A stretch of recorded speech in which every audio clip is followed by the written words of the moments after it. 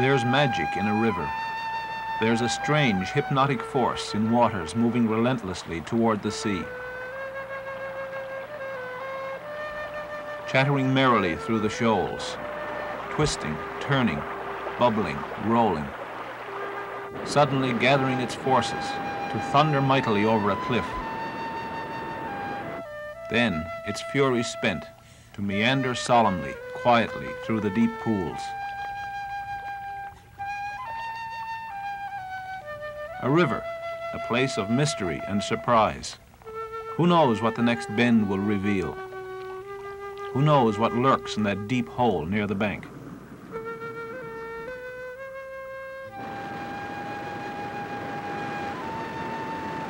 Rivers, special places to those who know and love the wild country. Arteries of life that flow through our forests, our bogs, and our barrens, and sometimes through our cities.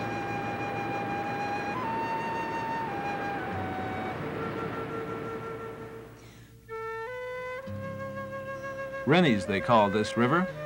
It winds through the heart of Old St. John's, from Long Pond to Quidi Vidi twisting its way around commercial buildings, institutions, schools, playgrounds, homes. Thousands of people live on or near its banks. The city has sprawled around Rennies, embracing it, threatening it. It wasn't always this way. For centuries, life in salty old St. John's revolved around the harbor, the houses, the businesses huddled together as close as they could get to the ships and the sea. Rennie's was back somewhere over the hill, a wilderness stream.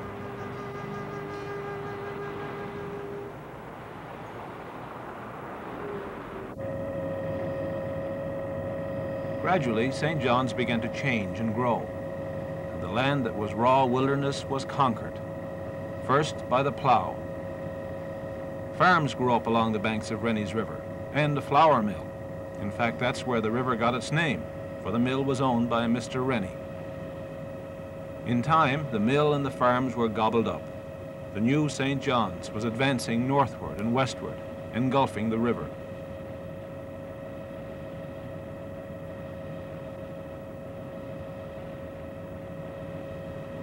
Eventually, even Long Pond, the source of Rennie's River, became a part of the city. Rennie's River and its headwaters had been captured, conquered, tamed.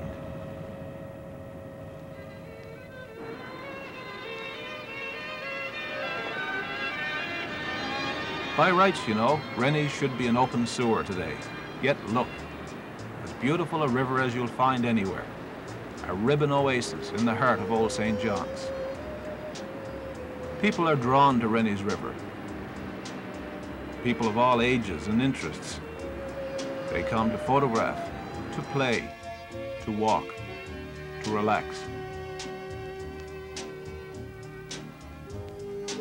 And to think back perhaps to the carefree days of childhood. Rennie's is a special place to those who've grown up in this part of St. John's. It's a place of dreams and memories, of catching trout and sailing boats, of swimming in Silver Pool or Rennie's Pool or Sliding Rock, of the days when this was the Amazon, the Mississippi, and the Mackenzie all rolled into one.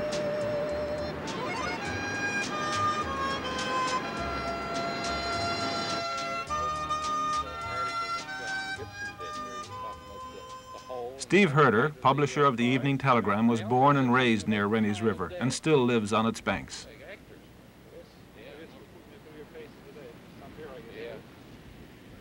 Staunch conservationist and member of Rennie's River Committee, you can often catch him strolling near the river, watching the trout leap the falls, and thinking back to his childhood days on Rennie's. What are your first memories of Rennie's River? Well, in catching pricklies. Like they were an inch and a half long, we caught them in our hands and uh, took them home, put them in a bucket where they died, of course. Did you ever bother to catch bigger trout? Uh, we caught one that's, well, the years make memories sweeter. I think now that was about seven pounds, but uh, what it really was, I don't know. We caught that in our hands.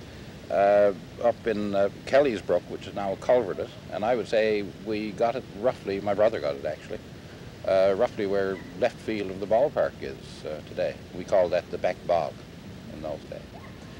I've seen trout here that would go easily seven pounds jumping at the falls. They, they had to be seven pounds. I mean, they're 26, 28 inches long. It must be quite a sight when, when the main run is on. Oh goodness gracious, yes. Uh, you can't you can't count, but it's so spectacular in Middle Tiny River, and you can see a 30 foot wide river where the trout are spawning, and they're literally from bank to bank. And uh, you can see the males fighting, and you can see the females digging the redds, and oh, it's, it's uh, just spectacular. It's a real natural history showcase right in the middle of St. John's. Yes, uh, it is, and, and other rivers as well too, and all this river from uh, right up to Long Pond, and then uh, and then beyond uh, it, Leary's Brook, and, and other places like uh, like that. That's that's marvelous, right in the middle of the city. Where else could you do that? So as a St. Johnsman, you're pretty proud of this river. Oh heavens, yes. Uh, as I say, it's for me, it's just full of boyhood memories, and now I'm just enjoying it in a, in a, in a different way. River watching, looking for the lightning flash of a trout hurtling the falls, on its way to the spawning ground somewhere upstream. It's not a bad way to pass an hour or so on a sunny day in October.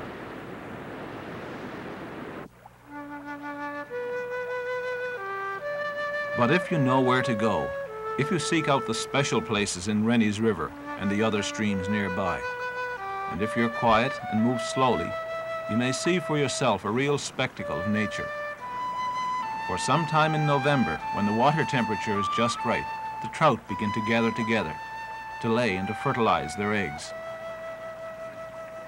You will see the fins knifing through the top of the water as the fish jockey for position looking for that special place in the gravel where they'll dig their nests.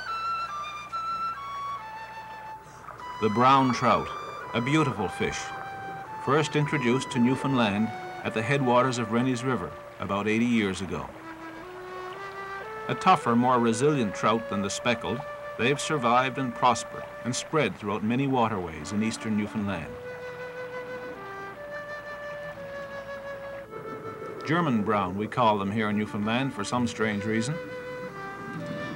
Some of these sea-run brown trout are quite large. Like the salmon, they grow quickly in the ocean and always return to the river to spawn. Rennie's River and the other rivers of St. John's hold incredible numbers of brown trout. Biologists from the university and the fisheries department, who've been studying our streams for several years, have come up with some remarkable figures. They say it's the most productive waterway for brown trout in the world. No other river comes even close. Up until our waters were studied, the top stream was one in New Zealand with 28 grams of trout per square meter. Here in St. John's, it's twice that figure.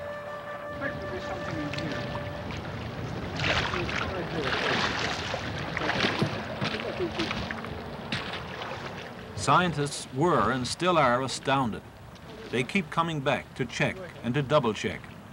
Each summer, they're out with their students, sampling the fish in stretches of the river, using a strange method of fishing called electroshocking. A pulsating direct current is sent into the water. For some reason, the fish are attracted to the positive pole and are momentarily stunned.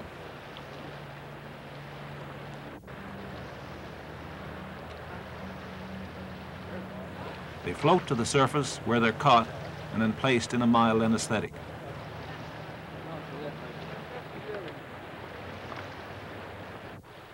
Now, uh, they're easier to... Uh, this makes them easier to handle, to measure, to, measure, to weigh, and to get scale samples. 12.9. 12, You'd like a picture of this big guy, think. This is... Uh, it's quite harmless to the trout. They're released moments later and with a flick of the tail are back to normal again. Wondering, I suppose, about the trials and tribulations of modern life in Rennie's River. On some parts of the rivers of St. John's, the trout are quite small, but there are places where you'll find the real whoppers.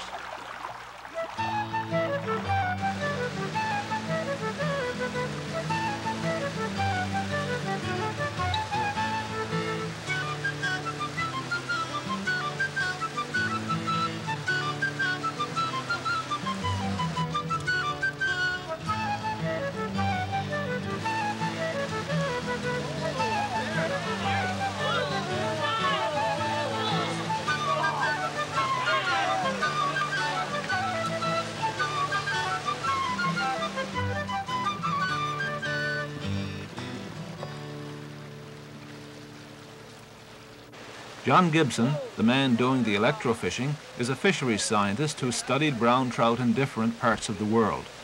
But he's also an avid angler, a man who spends a lot of time on Rennie's River, walking, fishing, enjoying the scenery. To him, it's a very special place. Well, John, it's quite a river system, isn't it? It really is. It's very beautiful and very productive, and you know provides a lot of fun for everybody, for uh, anglers and the naturalist who likes to walk along and see the birds and so on, and, and for the scientists too. It's got all aspects. And uh, rivers being a living system, besides supporting the fish, there's mink and otter here, and uh, and of course things like kingfishers and herons, even ospreys and long pond, and uh, and very nice aesthetic, aesthetically. People like walking along. Just everyone likes to look at running water, and it's fun to see the fish leaping and this sort of thing. So it's really, it's really an absolute gem. You know, it really, really is a beautiful thing. I've seen a lot of rivers and fished a lot of rivers that uh, not nearly as comparable to this. And uh, in fact, this summer I was over uh, uh, on holiday in England. My brother is a keen fisherman, and he's a member of a fishing club there uh, near England. It's a trout stream similar to this, and it costs him 800 pounds a year. And we fished, and I caught two fish. It was a lot of fun, but uh, uh, not nearly as good as this this river here. How many could you expect to catch here then? Well, uh, the last day of the season last year, I think I got 17 in two hours and uh, you know that's that's probably not exceptional for anyone who can wield a fly. Well, now most Newfoundlanders, and I've grown up near this river, uh, wouldn't bother with these brown I know. I know it's ridiculous, you know, and uh, it's. It, it has always amazed me that you can uh, fish this at any time, and uh, it's surprising if you see someone else here. And uh, it's all it's all a matter of uh, you know what what you're used to. And I spent a lot of my life fishing for brown trout, so I think they're very very valuable fish. Yeah, it, it really really is an absolute gold mine, and uh, and I think if it got around uh, how valuable it is, uh, we'd probably have a lot of people coming to fish it and uh, it's just just a very nice thing to have right in the city. I think that's the most incredible part about it. The trout are thrown back. They'll be back to fight another day. Perhaps that's the way it should be here in this crowded city.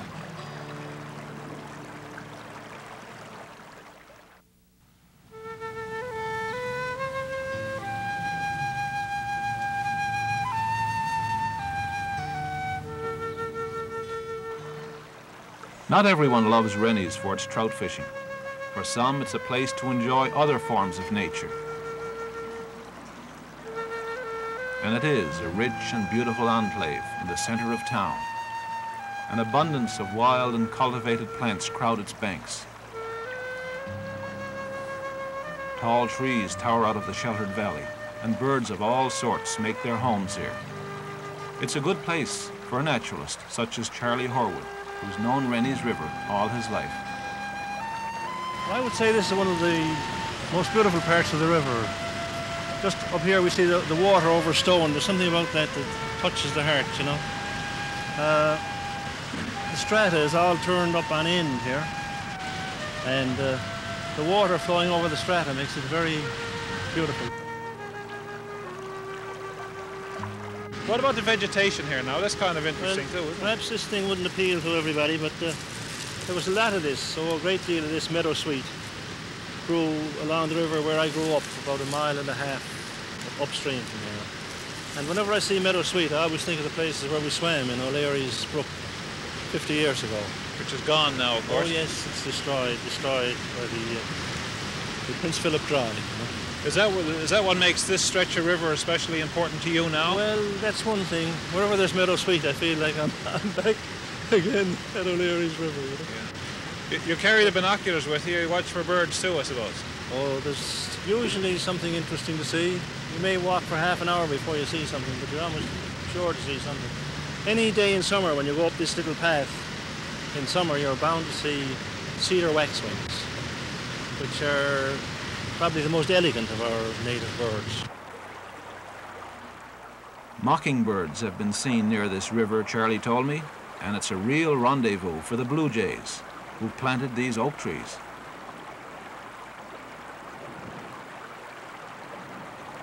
First I thought Charlie was pulling my leg, but no, he assured me blue jays were seen flying here with acorns taken from neighboring gardens. They dropped or buried them in the grass some years ago. And now the oak trees are springing up everywhere along this stretch of river. It's a little enclave of nature right in the middle of the town. Charlie, as we speak now, there's construction going on behind us, and it's very obvious we're right in the center of a town. Does that worry you at all? It does somewhat, yes, but I am happy that uh, the river itself is being preserved, and a lot of people are conscious of the value of the river, the value of the little strip of green around the river.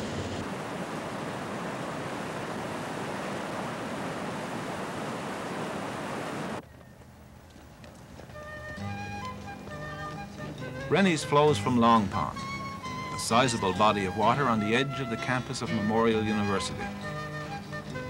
The students come here a lot to learn how to paddle a canoe and handle a sail.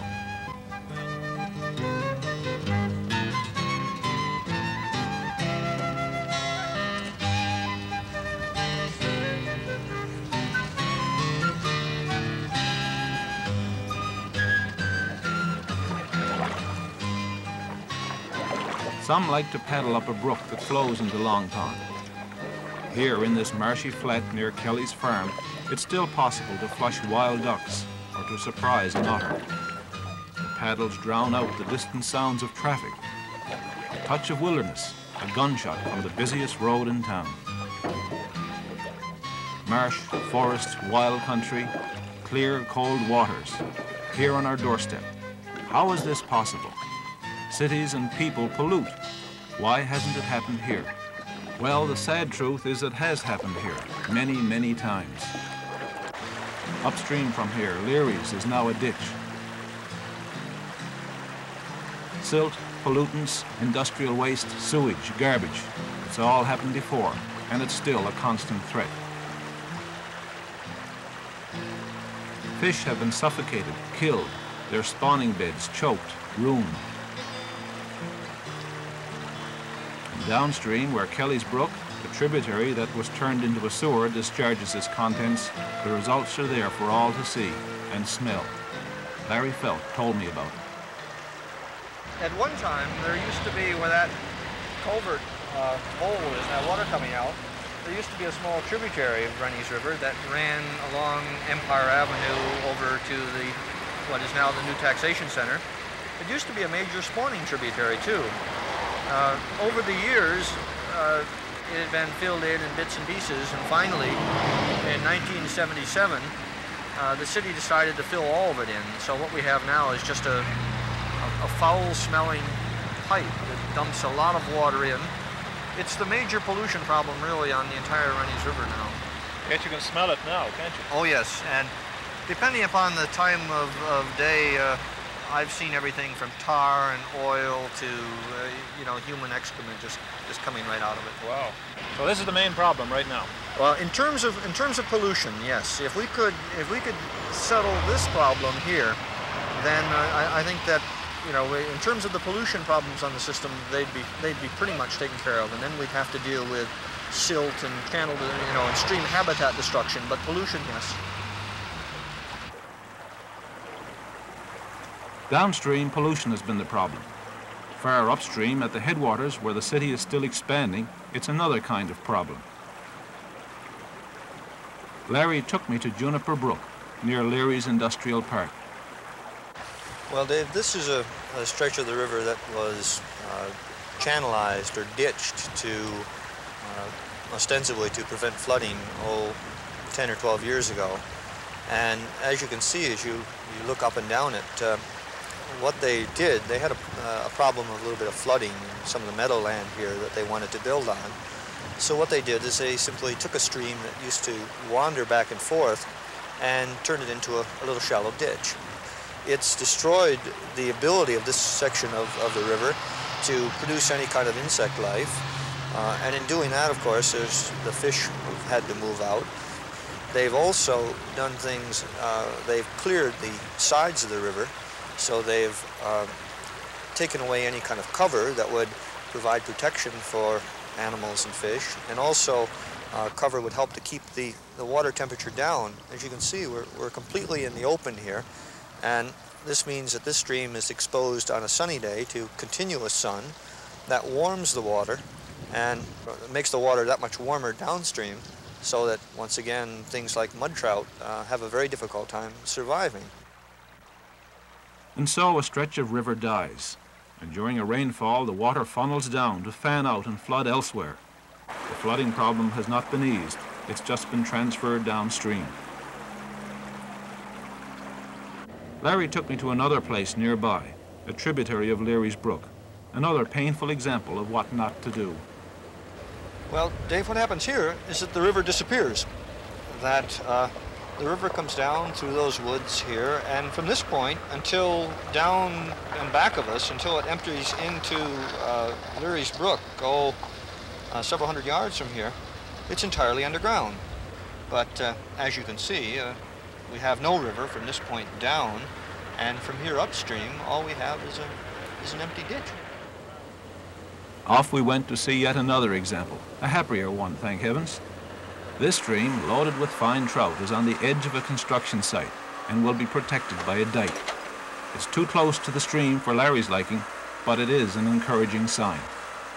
This, at least, is better than some of the past efforts. At least there's a, some sign of an awareness, you know, that you simply can't go in and, and ditch the middle of the river to, to solve your flooding problems. So at least it's got a chance for that dike. It's got a chance. A new awareness that we can blend industrial development with natural surroundings is gradually taking hold in the city. Citizens, government, and industry seem to show a new concern not to repeat the mistakes of the past. A 60-foot buffer zone has been established along our rivers.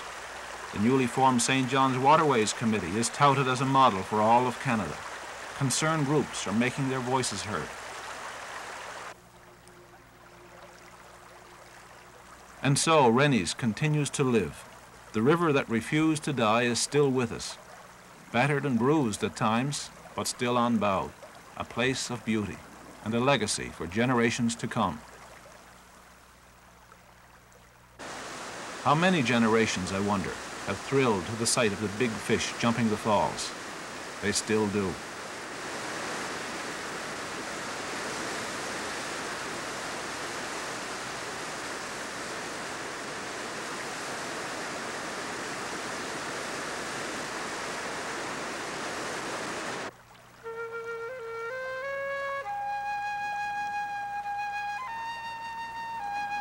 Rennie's River, a thousand thoughts, a thousand memories, a place of quiet, simple beauty. A stream flowing forever through the heart of our city and through the heart of its people. A river that refused to die.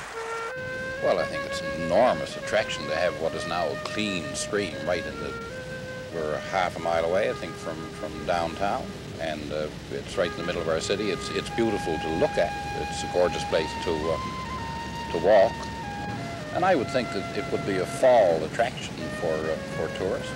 The weather is beautiful.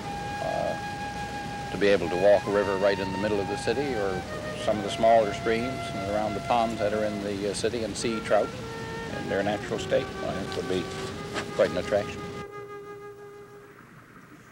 we don't realize what a, what a gold mine we have here. And uh, it's going to become more valuable. As St. John's grows, uh, we're going to need more areas like this. And have it in the city is really unique. And it's not difficult to keep intact. And this is a point we must get over. Just because it's in the city doesn't mean we can't live with it. And uh, it's quite possible to look after it if we treat it properly, don't abuse it, and, uh, and uh, and realize the value of it.